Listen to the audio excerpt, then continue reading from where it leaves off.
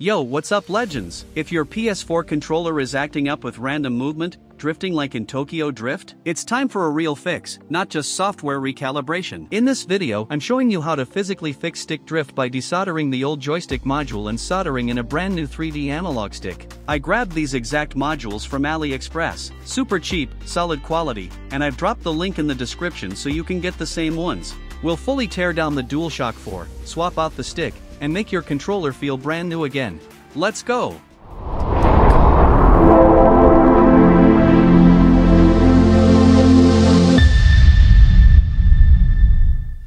If you've got any rubber thumbstick grips or caps on your joysticks, go ahead and pop those off. We need clean access to the sticks for the full teardown and replacement. Then flip your controller over and grab a precision screwdriver. You'll see four screws on the back of the DualShock 4. Carefully unscrew all four and keep them safe. Gently pull down both sides of the handles. Don't force it. Take your time and work your way around the edges. Use a plastic prying tool if you've got one, or just your fingers if you're confident. The goal here is to open it clean, no cracks, no stress.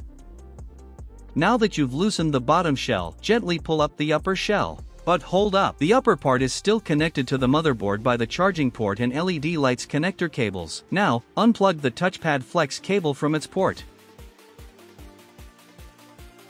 Now, gently unplug the battery connector from the board first, then lift the battery itself out. Go ahead and carefully lift out the battery. Grab your screwdriver and carefully remove that screw. Once it's out, you can safely take out the battery plastic holder itself. Remove the touchpad flex cable connected to the board. Go ahead and desolder both motor wires using your soldering iron. Just heat the solder point gently and pull the wire away once it loosens.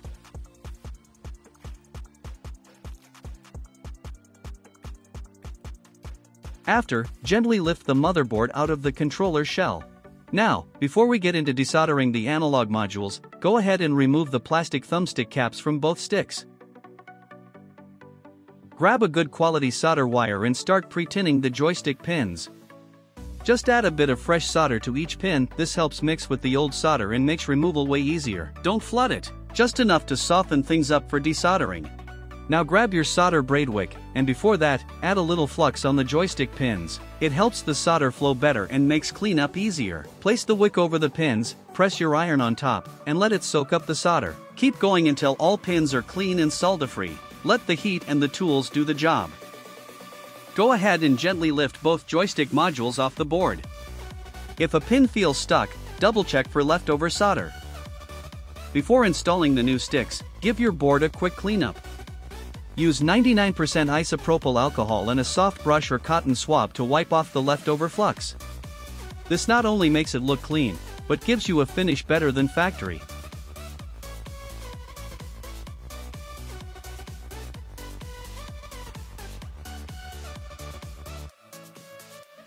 Now the board looks clean and fresh, like wow, factory ain't got nothing on this.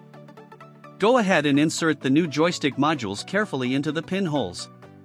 Take your time, line it upright, and make sure you don't bend or break any of the pins. They need to sit flush and clean.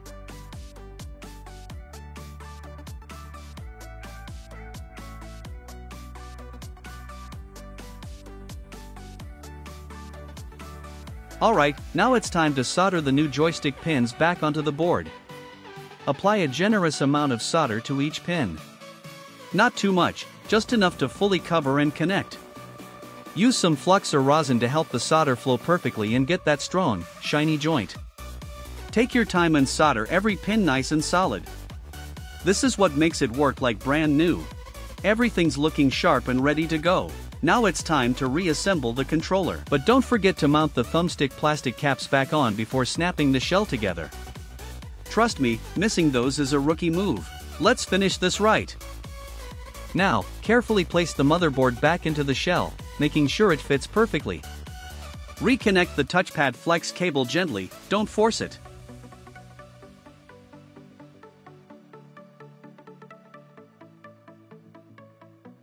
Next up, place the battery shield plastic cover.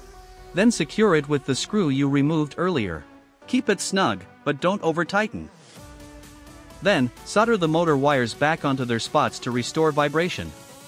Take your time to get clean and solid joints. Finally, connect the battery connector back to the board, then carefully place the battery onto the plastic shield. Make sure everything sits nicely, no pinched wires or loose parts. Go ahead and mount the back shell carefully. Before fully closing, connect the flex cable gently. Make sure it's seated right. Then press the shell together and snap in those side plastic holders until you hear the clicks. Finally, screw in the four back screws to lock it all down. Don't over tighten. And you're good to connect the controller and test it out. If you see your sticks aren't calibrated right after this, no stress. If you want to calibrate, go to this site. Links in the description. I also made a full video on controller calibration. Go check that out. If you're vibing with this content, smash that like button, subscribe, and hit the bell so you don't miss any fresh tech tips. Got any doubts or suggestions? Drop a comment below. I love answering you guys. And hey, if there's any videos you want me to make, just ask in the comments. I got you. And as you can see, no more stick drift, no more jittering. The sticks are buttery smooth now. Perfect work right here. Totally worth the effort. Thank you for watching, see you in the next video. Stay tuned, stay techie.